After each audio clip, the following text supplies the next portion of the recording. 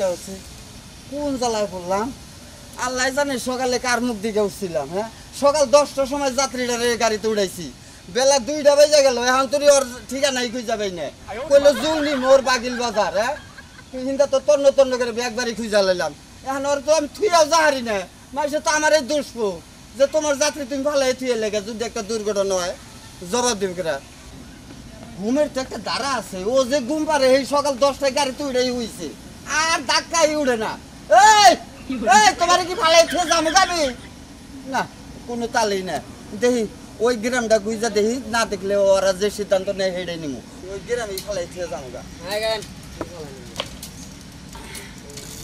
দেখছনি কারবার? হ্যাঁ? এই বাবা এই বাবা। টাঙ্গাল বেবি স্ট্যান্ড থেকে। সকাল দশটার সময় যাত্রীটা আমি তুলছি। বেলা দুইটা বাজে গেছে গা এখন তোর বাড়িঘর ঠিকানা কিচ্ছু পাই না। এই যে আমার গাড়িতে হইছে কোনো জবান বন্দি নাই। দেন সরে চিনেন নাকি? না চাচা চিনি না তো। কোন এলাকার কথা কইছে? এই যুগনি বাগিল বাজারে আশ্বাস দিয়াই। যাই হোক কথা তো ওটা না। সকালবেলায় গাড়িতে যখন আমার গাড়িতে উঠবো তখন কয় কি চাচা আপনার গাড়িতে কিন্তু আমি ঘুমামু একটু। এখন একটু ঘুমাবো তাই বা আবার কিছু দূর আইয়া কয় কি আমার একটা চা খিলান।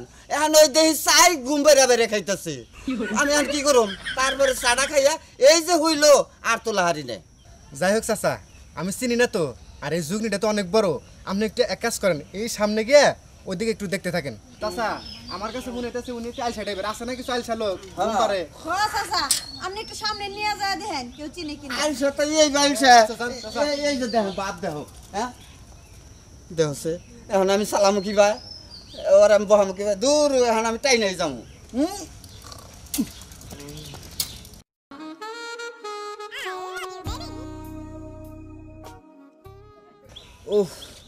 এই দাগটা পাড়ি দেওয়ার পরে অবশেষে একটা বাড়ি পাইলাম।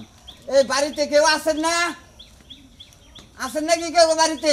যাই একটু ভিতরে দেখি আছেন নাকি কেউ বাড়িতে? হ্যাঁ। কি হলো বুঝলাম না তো। এ, মা দেহ হচ্ছে আমার এই যে এই যাত্রীটারে চিনো নাকি? চাচা আমনের যাত্রা আমি কিবা করে চিনমু। মা বাই। ও মা বাইরে হসে। কি হয়েছে এই দেখো। হ্যাঁ আলমগীর কি আলমগীর। এই আলমগীর। জানতাম এরকম একটা কাহিনী হইব কারণ যে গুম পাগল অলস হইছে আমার জামাই। বারবার করে কইছি যে তোমার এক টাকার কোনো দরকার নাই। কি রে? এই উড়ো! উড়ো! উড়ো কইতেছি। কি? হুম?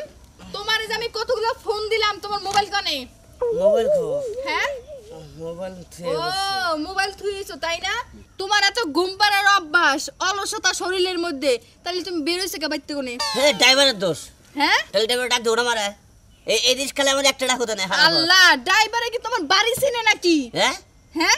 হ্যাঁ এটা একটা কথা হইল নাকি? দেখো তুমি যে কাজ কামগুলো করতেছো আমার একদম ভালো লাগতেছে না। এইসব অলসতা তুমি ছাড়বা।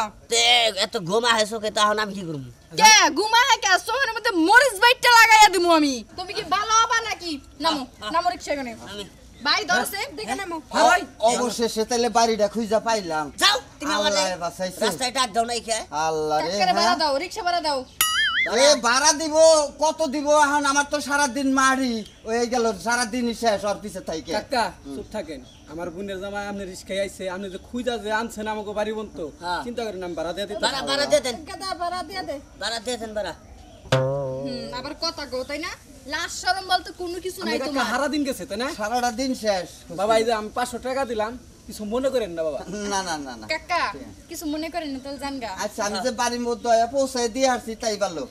আচ্ছা। তুই জানাস নিশি তোর জামাইরে দেখে প্রথমে এমন ভয় পাইছি যে হায় আর কি হইল? ডাক দেয় নাকি আমার আমার এই হোম মন্দির যাতে ডাক দেয় না। সব দোষ হলো কার জানো? এই আমার মা আর এসে আমার ভাই। হ্যাঁ। বারবার করে কইছি পোলা যেন ভালো হয় পোলা যেন ভালো হয় কাম কাজ করে। আর বেশি ভালো চাইছি তো এই জন্য অলস জামাই পড়ছে আমার কপালে। আমার চোখে খুব আমি কি করব হন আমার কোনো কিছু করার আছে? ঘুমাইলি কাম দিব তাই না? হ্যাঁ আমার মনে কলা যে আবার তো সারসে বাইতে হও তারপর তোমার অবস্থা বুঝাইতেছি আমি। Ha ha!